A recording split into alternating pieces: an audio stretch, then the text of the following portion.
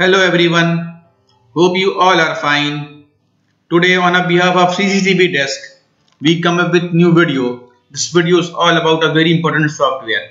Today we are talking about a very important one, Sannce Cam for PC. So basically in this video, we are going to describe with you that what is Sannce Cam for PC, what are its basic feature, what are its system requirement and after that we'll tell you the practical part means how you download the software, how you install the software and how you configure the software to make the camera live and able to access all its feature. So keep watching till end. Please like, share our video and subscribe to our channel. So let us start. So what is Sannce Cam for PC? Basically, it is a software or it is a CMS which is used to connect as well as control the CCTV camera on PC. It is this this is the software program for monitoring the CCTV cameras on the computer screen. It is also used to monitor the cameras on remote locations over the internet. Now, if we are talking about its basic feature, by using this software, you are able to access Sannce Cam on the on your on your laptop screen. Not only the live view of the camera, not only the means only view the camera, but you are you can see the multiple channel. You watch the recording of the cameras, you control the PTZ camera, means you are able to pan tilt and zoom, you take the snapshot of the video, you save the live view of the camera, you can adjust the image parameter like brightness, color, etc. You take a backup of the recorded videos, you can adjust the video streaming according to network bandwidth and control the quality of video recording and many more. Now, if we are talking about system requirement, then you should have at least Core i5, any generations CPU and you have Windows 7, 8 or 10 but I don't recommend on run to, to run on a Windows 7 because this is an obsolete product by Windows. So it, it don't have update.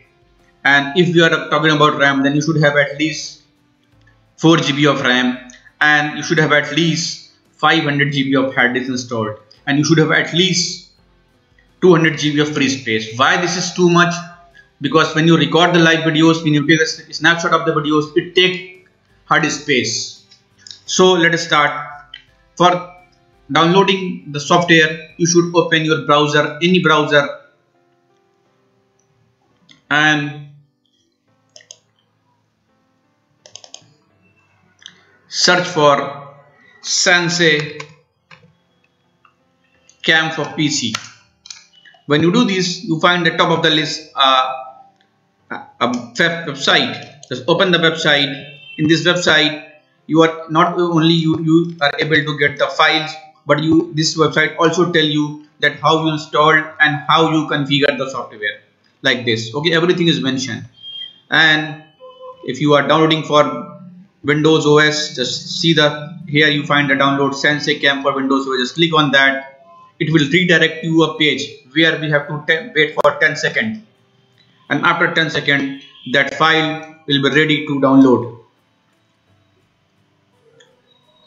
Now you find that your file is ready in a download like this okay? Now just click on this. Just close this add. And your downloading start like this okay? Once it is downloaded completely here you should find the option folder just click on this folder show in folder option. And you file you find the file in a WinRAR file. You find a WinRAR file. So for that you should extract this file. Just right click on the downloaded file and click as extract to Sannce Cam for PC when you do this you find the folder name same as the file name. Open the folder. Here you should find your application file exe file or the installer file. Just right click on the application file and click on click as on run as administrator. And click yes. And now click ok now click next. Again click next. Just tick create desktop icon create the quick launch button. Okay? And click install. Now wait for a few seconds. Let that let the installation to be finished.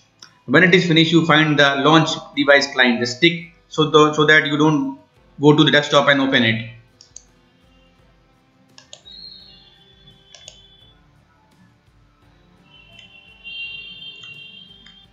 Now this is the interface of the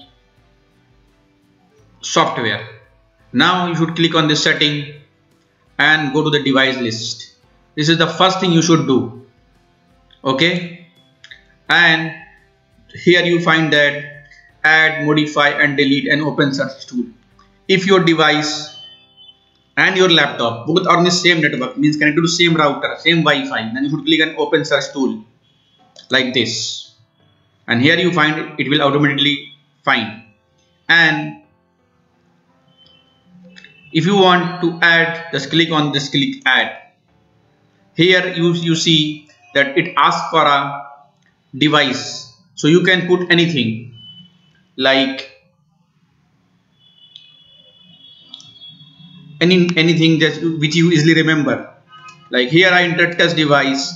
If you are adding a home camera just click home home camera or home DVR and here you should find the IP address and the username and the password.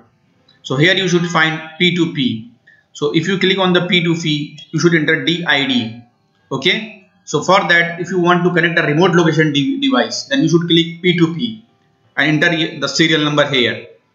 And where you should get this this DID you should log in your device means your DVR and go to network option. Over there you find the DID okay? And if you want to connect it locally just untick this and your and your device become like this. Okay? So I want to connect it locally. If you want to connect for a remote location then you should enter DID so in my case I just enter my IP address. And here it asks for a username and password. So don't be confused. Here it is a username and password of the device. Device means DVR NVR whatever device you are adding. So here it is my username and password. And I make a video just for education and training purpose. So there is nothing that I nothing extra I will tell you I will tell you only those things which is important. Okay just click ok. Here you find that. Okay just close this and just double click on the screen. Your camera comes live. So this is all about this video. Thanks for watching. Thank you. Thank you. Have a nice day